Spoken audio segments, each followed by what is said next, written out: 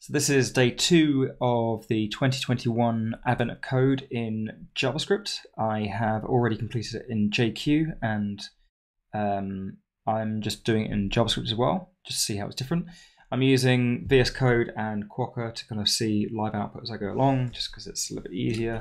I've already started it, um, and I'm to break this into uh, an array, and then I'm going to map it to uh, an object that has um, uh, what do we want? We want it to be um, no, we want it to be the direction const uh, dir and then value equals. I'll make that let um, uh, underscore split space. So yep, and I want to return uh, the direction and value value uh, parse int value 10. Um, so I can see those values are coming out, and then I'm going to do, in fact I can probably just map it here, there's no point in doing it further down. If direction is equal to, uh, let's change value here, so just doing a map rather than doing lots of chaining. Um, uh, if direction equals forward, then the const res equals h pos 0 and depth is 0 and then we're going to do, oops that's not valid is it? Um, we're going to do res dot uh, depth. No hpos equals plus equals value. Um, and then we're going to do else if direction is equal to down. Res dot depth uh, plus equals value uh, else it's going to be up and we're just going to minus it. Um, there we go. Um, and then we do we don't need to return anything do we? So we don't even have to do the map. We can just do a for each I guess. Be nice to get it back but yeah sod it doesn't matter. Uh,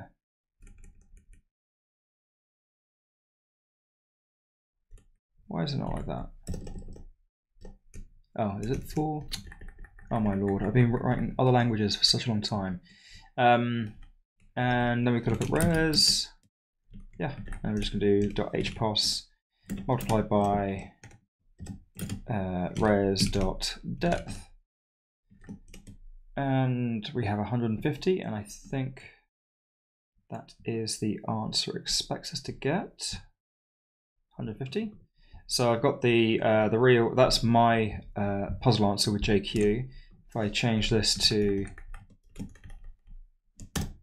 require the real value, uh, does that work? Not another. Uh, why is that? Two dot input. Two dot input has that. Oh, I think that maybe not a number. I reckon that it's because the last value is a um, two dot input. That last value is an empty string. So what I'm going to do is filter boolean. It's just a fast way of stripping out the empty strings or empty values, and now I've got uh, 21471, yeah, that's correct. So that's the answer in JavaScript. I feel like it's kind of a smash over the head kind of solution. Um, and then the B, let's just grab this. And then uh, the B, we also have an aim. and instead of uh, up, down affecting the depth, it affects the aim. And then the res.depth becomes um, value times res.aim. And that's 900. That's 900, and that's the answer. So uh, 20446 something. There we go. Yeah so same number. Um, so the, the question basically uses this uh, aim so that when you go uh, up and down it affects the aim value which is what we're doing here. Um, and when we go forward, we affect the horizontal position and we also affect the depth by taking the value multiplied by the aim, and that gives us our answer. Um, I could change this to re a reduce if I wanted to just kind of spit out the value, which looks nicer, I think. Um, let's just quickly change that since this was so quick. Um, pass, oops, pass that in as an argument, change that to reduce, i call it um, mm,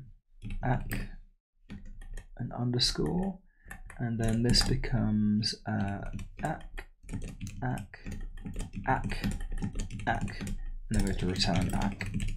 And then if we get the value out, const res equals uh, cannot access value ac. Cool. So, bit of a smashing out one big line, um, but the the trick really here is I'm quite a fan of this thing, filter boolean. As long as none of the values are going to be um, like zero, because if we need that, then it will strip out that line. Uh, but it doesn't need that. We know it's a string. It's all good. And uh, that is the Advent code in JavaScript.